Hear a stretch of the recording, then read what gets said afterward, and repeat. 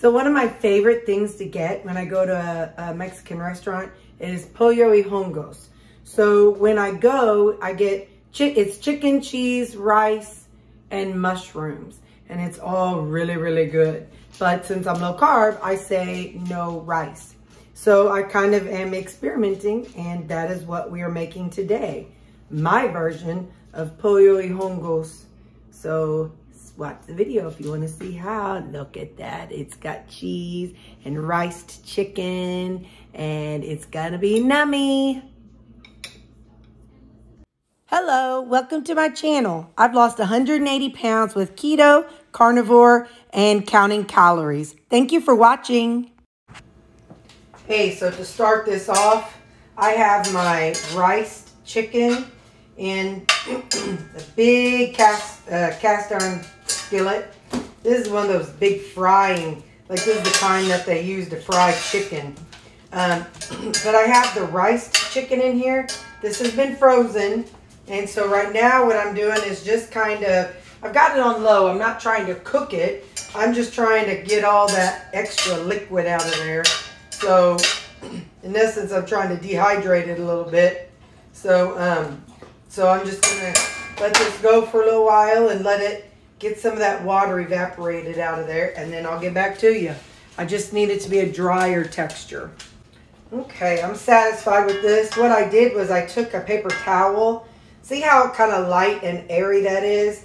I took a paper towel and kind of pushed out some of the liquid to help get the help it get out faster. I just I'm, I'm going to be adding liquid to this, but I figure this can kind of help dry it out a little bit. And um, so that way what liquid it does absorb is the liquid we add to it, not water from being in my freezer for, you know, several weeks. So, now, now, now.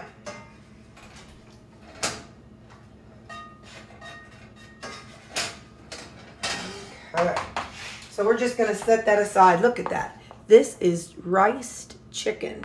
See how light and airy that is? Dry, just like rice. So you can just take take ground chicken and just, look, it's light and fluffy. I could put jasmine. I don't know what flavors people put in rice. But anyway, so, all right, next step. Look at my quality assurance. There and there and back there. So we have Sammy. Where's my hand? Lou and Callie. That's my quality assurance. I'm going to put some ghee in here. And uh, we're going to let this melt. And then we're going to saute up some onion. So we'll let that melt and I'll get back with you. Okay, so we're going to add some frozen chopped onions. Let's see how much. Listen, if you don't want the extra carbs and stuff, feel free to leave out some of these things. You know, I do a lot of vegetables now because I'm not concerned about them. So that's why a lot of times my total carbs are higher than what some people's are. But I'm giving you total carbs and not, um, I'm not giving you the net carbs. So if you count net carbs, it'd be less than what I'm, what I'm telling you. So that's 100 grams of the frozen onions. I'm going to saute those up a little bit. And I'll get back with you when they are nice and sweet and softened. Okay, now we're going to add in some sliced mushrooms. We're going to do about half the bag. So, how many servings is in this? Three and a half. Okay, so 130 grams of mushrooms. I'm going to saute that up. And I'll put this back in there, in the freezer, I mean. I'll close this back and put it in the freezer. I am going to add some salt.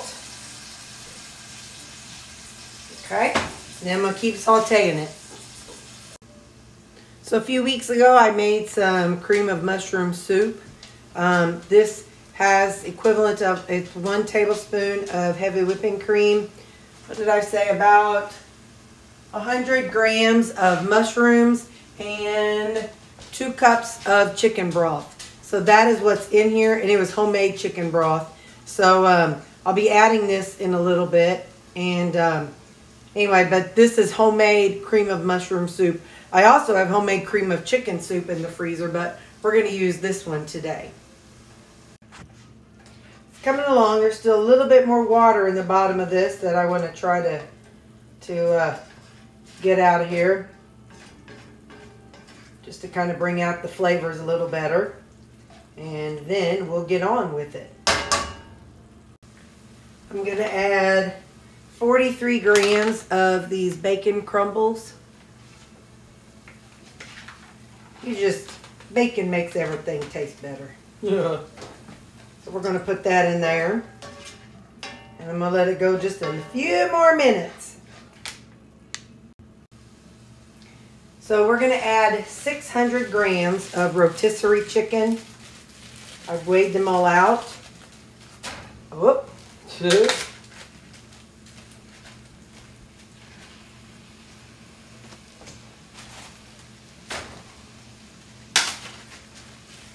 Right now I just want to kind of warm it all up together. Let it kind of absorb the flavors. Some of it's white meat, some of it's dark meat. I'm going to put the lid on it. Actually, I'm going to go on and add the cream of mushroom soup and put the lid on it for a few minutes just so that way it can all heat up together.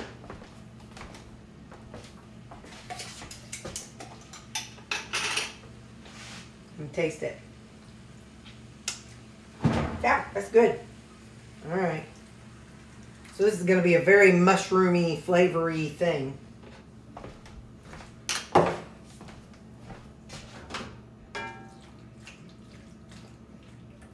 So, of course, that brought the temperature down real fast. But uh, anyway, so I'm going to get that all stirred in together. And I'm going to cover it, so let it simmer for I don't know, four or five minutes till it all kind of absorbs the flavors. Hey, I have a question. If you all do your cast iron and you clean it and you go to hang it back on the wall and it's too hot, am I the only one that puts a rag behind it so it doesn't scald the wall? I'm just curious if I'm the only one that does it. Anyway, okay, now, let's see here how it's going. It's looking good, looking good got that cream and mushroom soup and the chicken in it. And the bacon and the onions and the mushrooms. Now we're going to take a little taste here. Give me just a second. Get a spoon.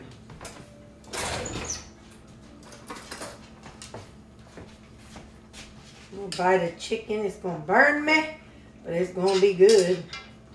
It's one of them things that what do you do? You just burn yourself and hope for the best.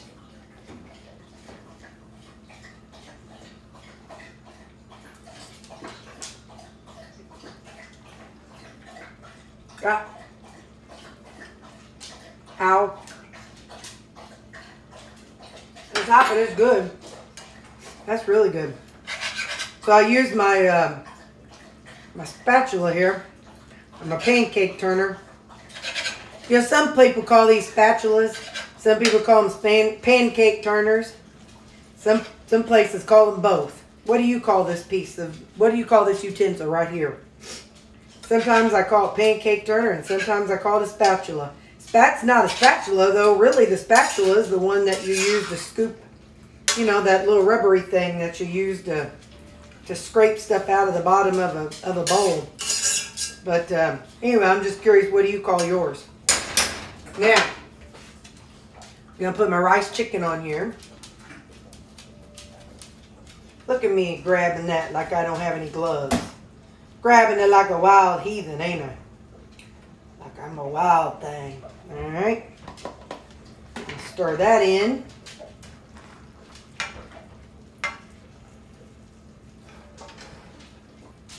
And then, then I'm going to put on the top of it, oh, that was 180 grams of riced chicken.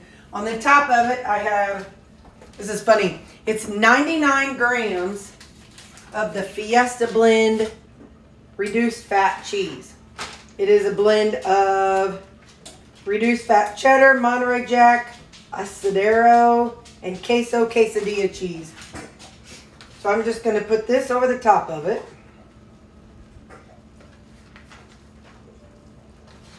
What I was originally thinking, but I didn't do it, um, when I go to Mexican restaurant, I love the uh, mushroom, chicken, rice, and cheese.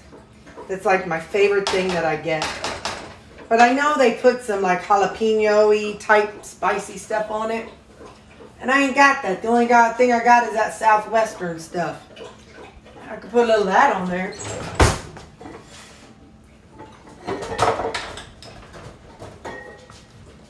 A little bit of this, I could put a little bit of this Mrs. Dash Southwest, Southwestern Chipotle.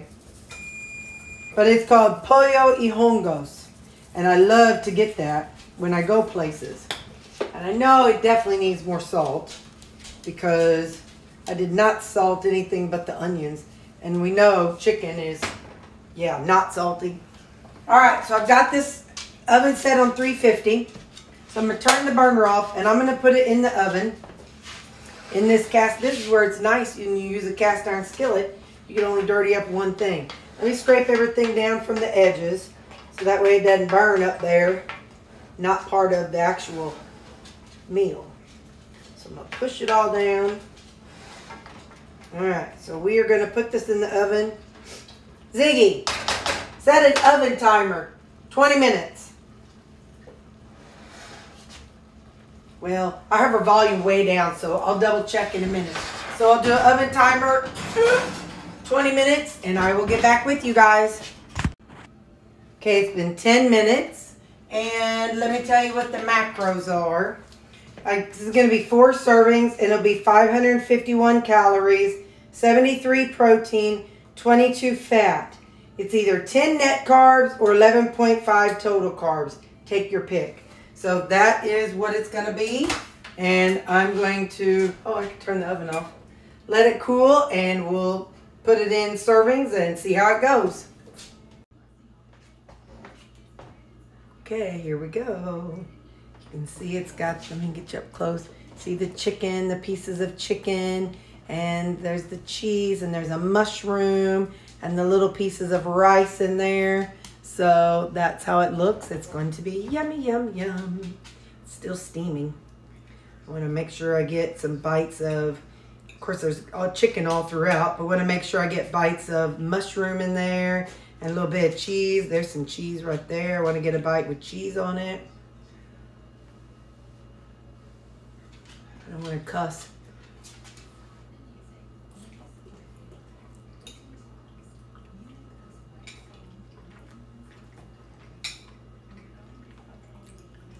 Winner, winner, chicken dinner. Get it? Chicken dinner.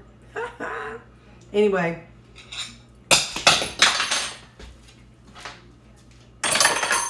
So, there you go. Super, super yummy Super easy. Rotisserie chicken. You don't even have to use the riced chicken in it. Use rotisserie chicken. Saute up some onion mushrooms. Put the put the your uh, chicken back in there and put some cheese and some whatever kind of southwestern seasoning you want and delicious. So, okay, bye.